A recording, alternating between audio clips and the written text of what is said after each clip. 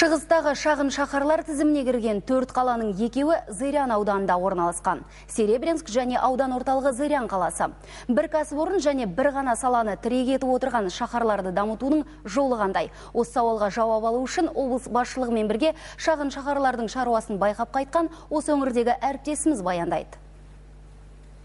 Серебрянск бастапқыда бұқтырма су электростанциясын салған құрылысшылар кент ретінде пайда болған. Қала мәртебесін 1962 жылы алды. Мұндағы ең ірі кәсіпорын Серебряндық биоорганикалық өндіріс зауыты. Тыныс органдарын қорғайтын құралдар және халық тұтынатын тауарлар шығаратын мұндай зауыт елімізде біреу ғана. Бірақ соңғы жылдары бұл кәсіпорынның жұмысы тұралап қалған. Зауыттың жұмысы жанданса, қаланың да даму жолы жарқын болмақ.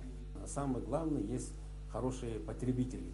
Ең бастысы бұл тауарлардың тұтынушылары көп. Мәселен, төтенше жағдайлар министрлігі, өңірдегі ірі металлургиялық өндіріс орындары. Бұл кәсіпорын жұмыс істесе, қыруар қаражатқа тапсырыс түсетіні анық. Сондықтан бұл зауыттың проблемаларын шешіп, жұмысын жандандыру мәселесі қазір үкіметтік деңгейде қарастырылып жатыр. Осы айдың соңына дейін оң нәтижеге қол жеткіземіз деп ойлаймын.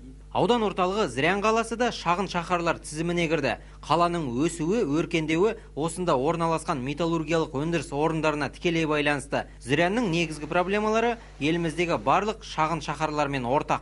жылу және су жүйесі өте ескі соны соған ақша көп бөлінсе сон- сонда мәселе шешіледі деймін Бұйыртса мемлекет көмегімен бұл мәселе шешімін табады. Бүгіннің өзінде Серебрянск қаласына 38, ал Зырян қаласына 150 миллион теңге бөлінген. Аудан басшылығы екі қаланы да дамытудың жоспарын жасап, жұмысқа кірісіп жатыр. Зырян ауданы ауыл шаруашылықпен айналысуға да қолайлы аймақ. Табиғаты да тамаша. Жаз уақытында көпшілікке көгілдір бұғаз деп танылған демалыс базалары жұмыс істейді.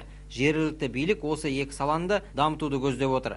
Шығыс Қазақстаннан Берік Көшербаев, Ермек Иманғазы, Қазақстан ұлттық арнасы.